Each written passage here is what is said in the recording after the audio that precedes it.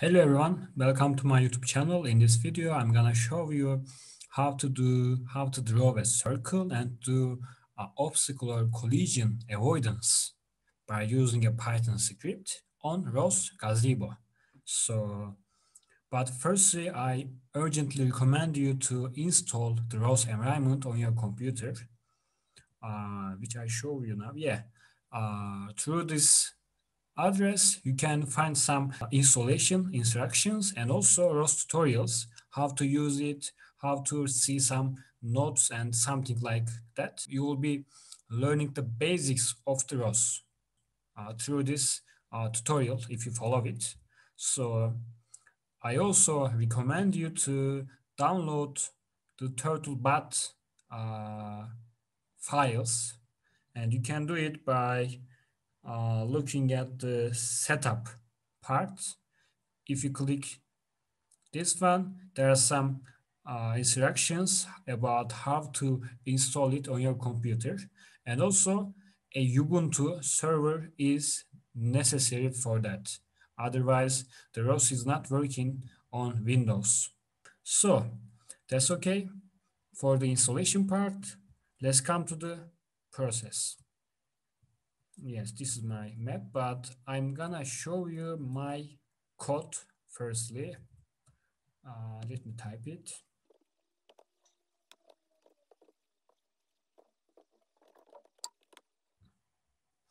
Yeah, the code is like that. Uh, the firstly, you need to, you need to import some files, some libraries of ROS functions, actually ROS topics, and also some functions of Python library. So I open the class, then I use some functions in it. And in the first function, uh, it's the main function, indeed. Uh, I use the global circle, and the circle is the object of a twist. Twist is a type, actually, uh, indeed. And also, I just determined is very important. In the code, at the top, you can see some import lines. These are, uh, I wrote, these are used for uh, importing some uh, functions and libraries of Python and ROS. These are necessary, otherwise you will, you will not be able to use them in your code. So after this part, this is the main class. We use we code it, we will code it in a main class. And in the main class, we have some functions in it.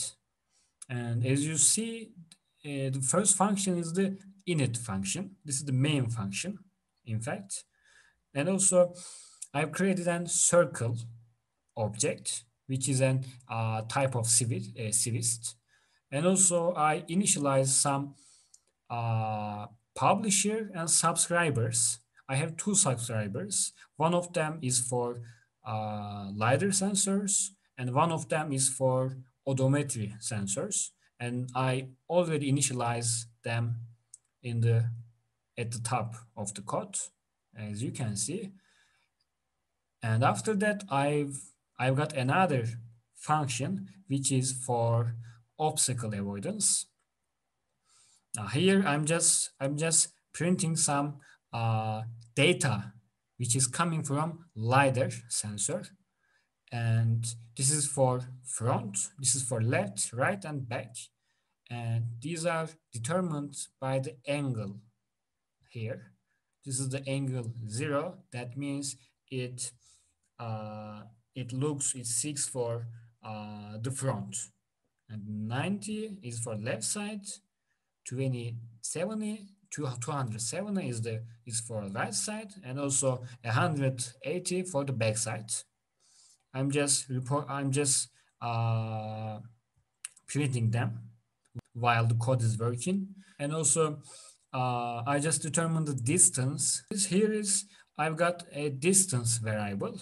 This variable is uh, set to 0.7, which is a bit close to the uh, obstacle. So that's why I chose it. And here is if statement. In this statement, I just I just say that if an obstacle is not closer than 0.7,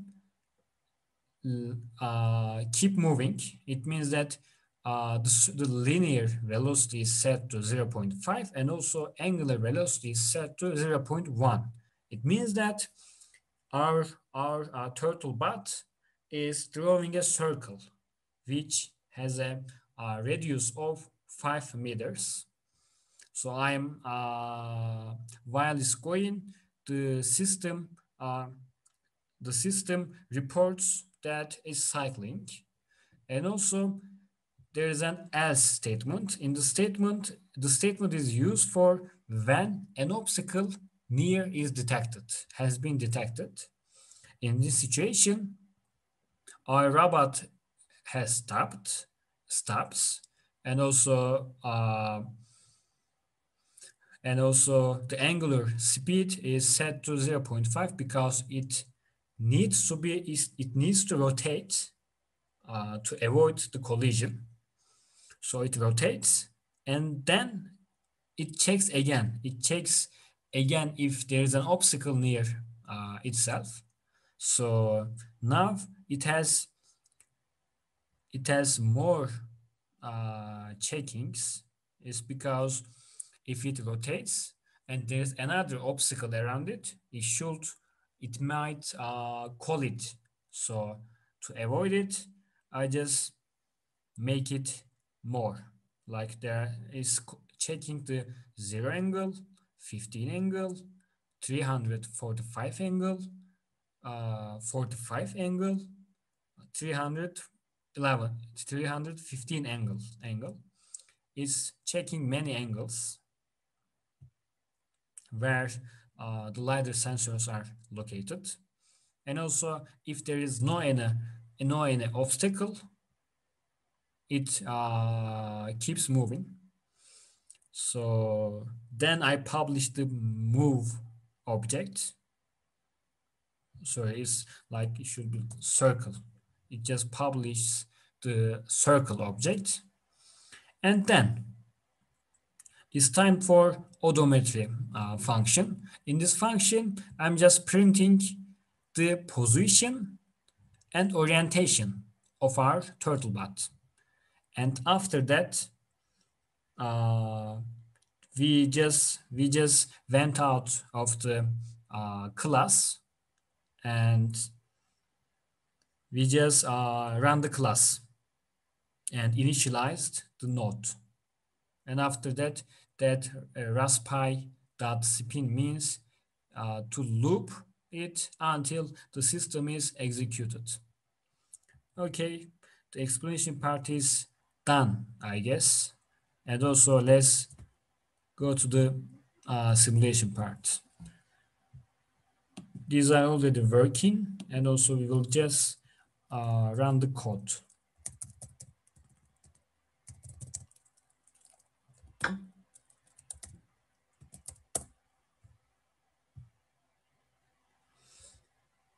As you can see, the uh, our turtle bot is drawing a circle.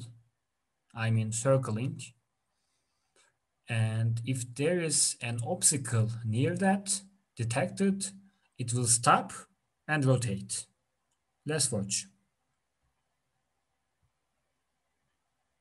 If we get close to the uh, map, we can see it more easily.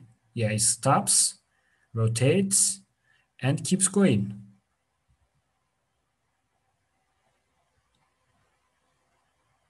Let's watch it a bit more.